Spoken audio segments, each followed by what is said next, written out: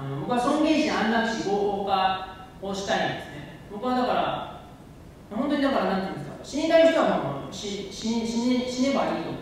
うんですね。死ねばいいって言ってもやっぱ条件はあるんですだから本当にもう病気でもう大変だともう。死ぬしかないと。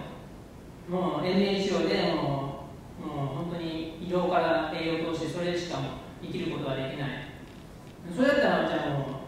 うなんか最後をみんなが見とってる時に、えー、安らかに死にたい。そういう人もいると思うでもしくはもうちょっと本当にもう一生懸命頑張った頑張ったともう本当に、えー、いつ死ぬかわからない今このタイミングで死にたいと。まあ年齢制限とかありますかそんな 10, 10歳で死にたいと言ってもねそんなねあれですから。何歳かになってあじゃそうなった時にあ生前葬をやってみんなでバーって盛り上がってじゃあ俺行ってくれと。そういうのがあってもいいと思うし。またはクラウド上で死んでも肉体が死んでもクラウド上で生き残れるっていうその都市伝説的なものがあるんですけど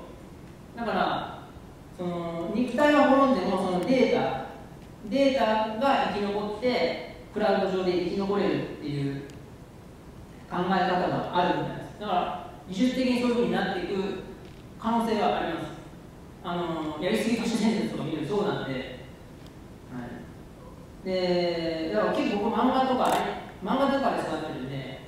そういうの影響もあると思います